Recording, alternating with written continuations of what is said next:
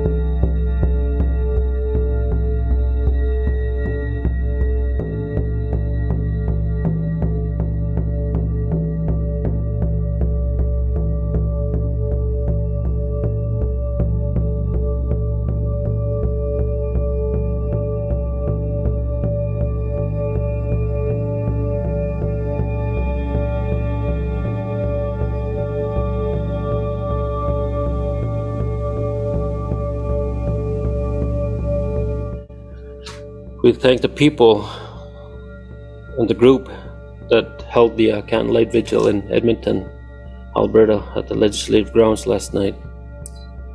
We also extended that solidarity with the Red Earth Cree Nation and Shoal Lake Cree Nation and, and the Prince Albert Grand Council as well as we did that candlelight vigil at 8 p.m. last night to stand with uh, and continue to send that message of hope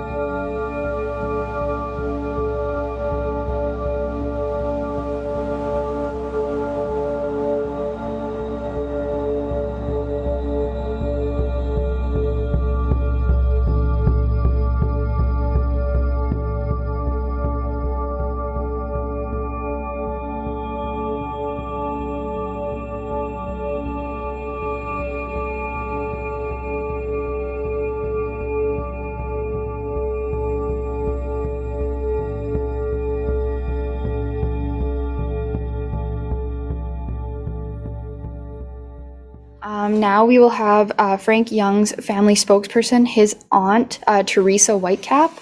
Um, and if the family wants to stand behind to show support for her while she speaks. Um, good morning, everybody. Coming from my family that are standing behind me, we are Frank's family. Five-year-old Frank, my grandson. Uh, my name is uh, Teresa Whitecap. and uh, ever since day when when Frank went missing, we be we came as a, a family. Just want to make that um, known to everybody that my family are very strong. And the reason that we are strong is because we come together as one.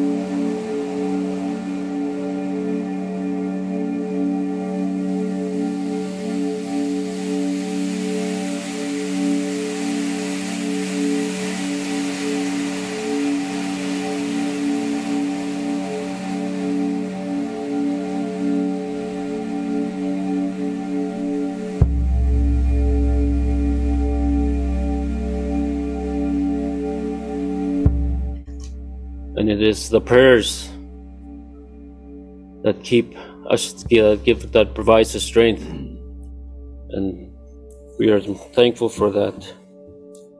Despite this being day 28, we we still are we still view this mission as a rescue mission.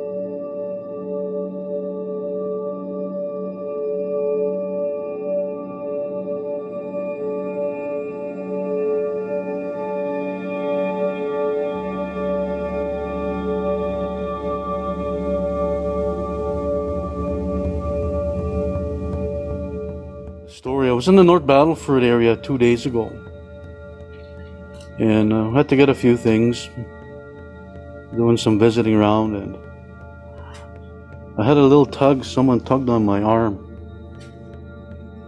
Thinking it was an adult, I turned around and looked.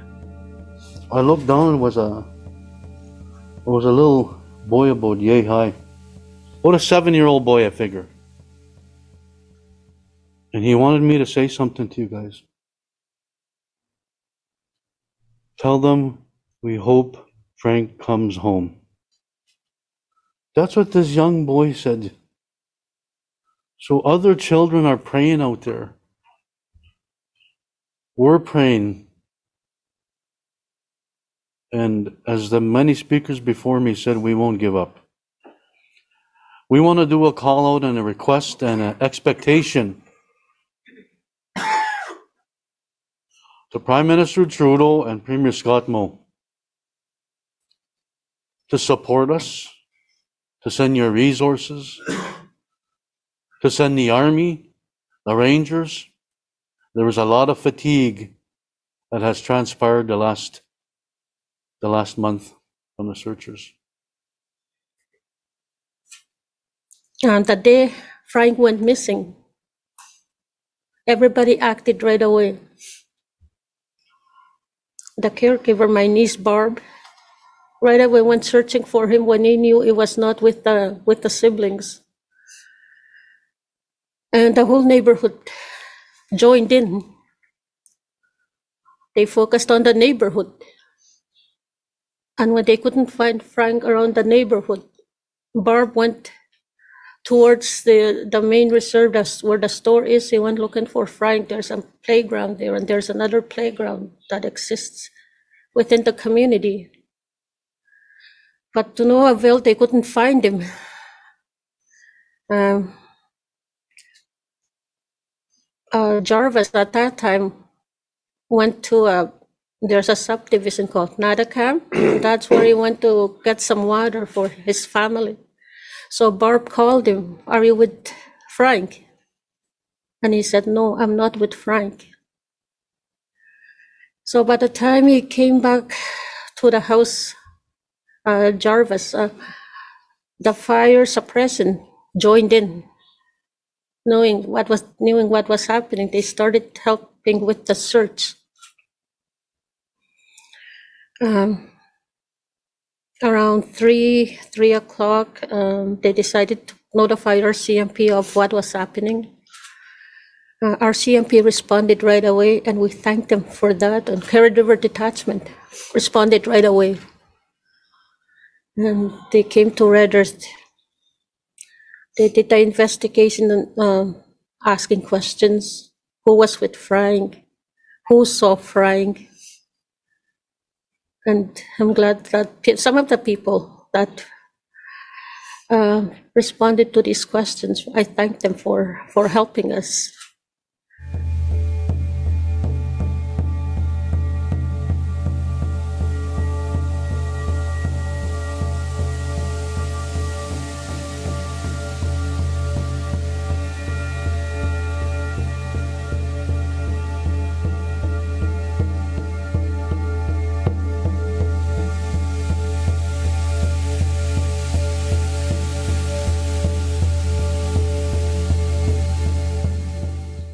As the Grand Chief said, we assisted leadership and made an ask to have the Rangers deployed into the community to help search for Frank Young. The chief is waiting for a response from the government back when they will be deployed and if they will be deployed to the community, but we are hoping that that request will be made for the leadership and for the family.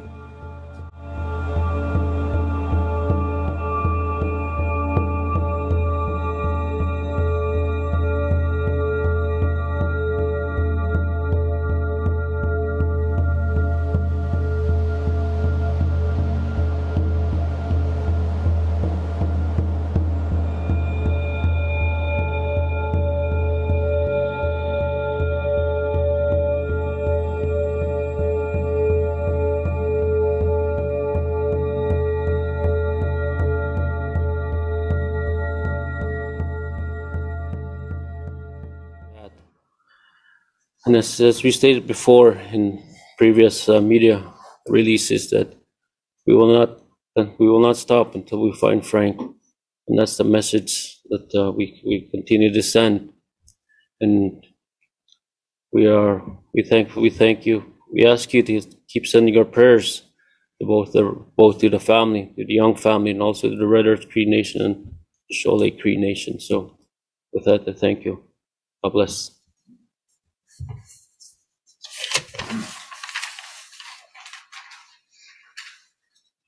And I talked to my family not too long ago.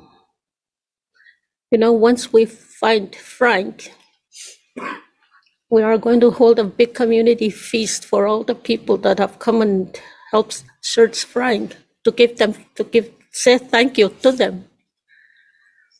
And I want to host it in Red Earth because that's where Frank is raised by his auntie Barb. Because I believe that the Indian culture, you know, that's our tradition to give thanks, is to hold a feast, to say thank you for all the people that come into our lives. And uh, I'm glad that we were able to do this today. We've been putting it off because we were hoping each day that Frank would be brought uh, home to us. And I told my, my nieces, continue holding on to that hope. And that's what keeps us going every day is the hope that we're going to see Frank. I pray for all the searchers, all the people that are in our circle. I pray for everybody in the morning or when I'm traveling, when I go to bed, when I wake up middle of the night. I pray and I pray asking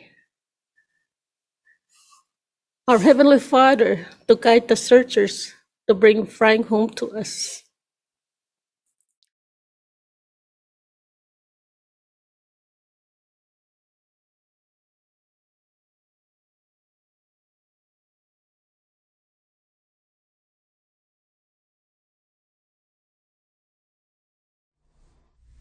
Jamie Smallboy says the case of missing five year old Frank Young at Red Earth Cree Nation is just another example of a system that doesn't serve missing Indigenous people.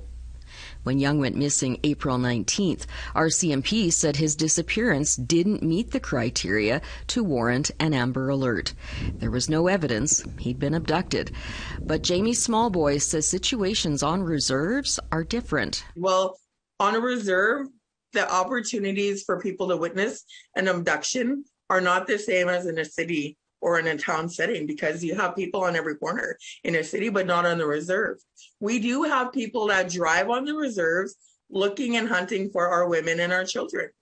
They don't include that. They don't, that doesn't even hit the Amber Alert criteria at all. So it needs to be adjusted to be inclusive of all the differences. Smallboy believes the ball gets dropped many times when an Indigenous person is reported missing. That's kind of, it seems like where the breakdown is the individual's bias. They take it upon themselves. Well, is this an emergency or is this not an emergency? Is this person really missing or are they just indigenous and they're out partying or they're at a cousin's or they're at an auntie's? Smallboy is hoping to present the Change.org petition to Justice Minister David Lametti and the Minister of Crown Indigenous Relations, Marc Miller, this fall, and plans to gather more signatures over the summer.